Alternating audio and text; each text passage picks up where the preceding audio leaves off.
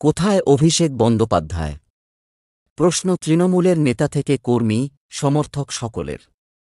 যা নিয়ে সোমবার মুখ খুললেন প্রবীণ তৃণমূল সাংসদ সৌগত রায়।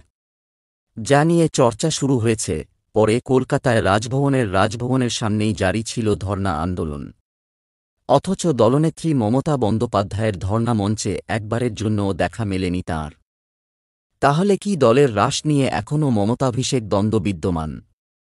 এখন কোথায় তৃণমূল সেনাপতি এদিন বিমানবন্দরে সৌগত রায়কে অভিষেক নিয়ে প্রশ্ন করা হলে তিনি বলেন, এসেছে নিশ্চয়। আমার জানা নেই। খোঁজ নিয়ে দেখুন। আমি তো ওর পিয়ে নই, তারপরই সৌগত রায় বলেন, আমি জানি না। আমার ধারণা ওর কোনো শারীরিক অসুস্থতা আছে। ওর সঙ্গে কথা হয়নি, তবে আমার মনে হয় চিকিৎসা চলছে। তৃণমূল সূত্রে দুটি খবর শোনা যাচ্ছে। একাংশ বলছে, চিকিৎসার কাজে দিল্লিতে রয়েছেন জোড়াফুলের সর্বভারতীয় সাধারণ সম্পাদক।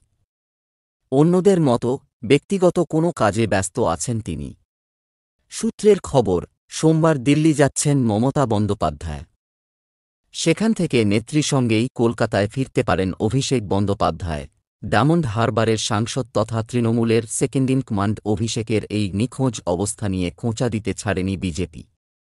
বঙ্গ বিজেপি নেতাদের প্রশ্ন এটা মনের অসুস্থতা এর কোনো চিকিৎসা হয় না।